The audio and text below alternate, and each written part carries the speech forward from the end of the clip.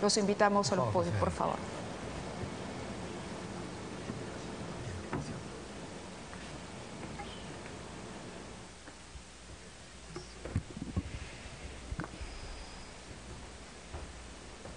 Muy bien. No te conozco. Muchas gracias. Bueno, por favor. Muy bien, empezamos entonces con la exposición del señor Alejandro Toledo, candidato de Perú Posible. Tiene usted un minuto y medio a su disposición. El Perú necesita volver a crecer. El crecimiento económico es un medio, no es un fin. El objetivo final es que el crecimiento permita redibujar el rostro social del Perú. Necesitamos volver a crecer a 7.5%, como se lo entregué al presidente Alan García.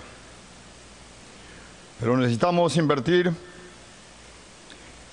en la mente de nuestra gente, porque ella es la que produce. Necesitamos seguridad ciudadana. No podemos crecer si no terminamos con la inseguridad. Eso significa incrementar la severidad de las penas. No podemos crecer con una corrupción en el sector público, en donde para que exista una corrupción existe un corrupto y un corruptor. Los dos merecen ser juzgados. Ustedes me conocen. Yo hice crecer la economía. Conmigo tú comprabas 10 panes por un sol.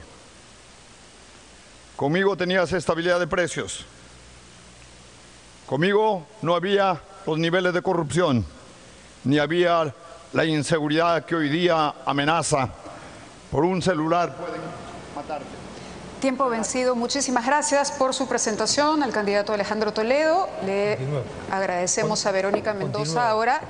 Tiene 30 segundos para hacer un comentario o una pregunta al señor Toledo. Muy buenas noches, señor expresidente Toledo. Usted tuvo como premier y ministro de Economía y Finanzas al señor Kuczynski, hoy también candidato a la presidencia de la República. Me gustaría que pudiera explicar al pueblo peruano qué lo diferencia a usted del señor Kuczynski.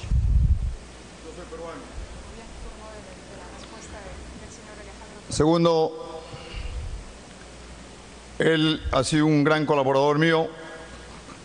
Mis colaboradores solo tienen gratitud de mi parte. Los errores son míos. Yo los asumo. Llegará un momento donde tengamos que confrontar y la historia juzgará lo que pasó.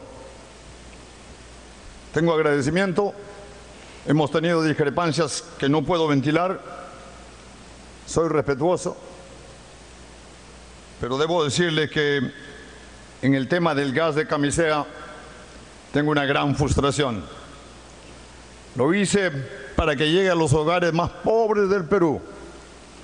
Sin embargo, Echarate, Cusco, Quillabamba, Puno y el sur del país no tienen el gas de camisea.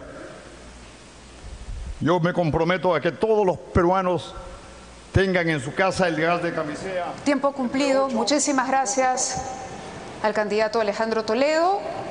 El turno ahora, de acuerdo a la dinámica y a la metodología establecida para este segundo bloque, es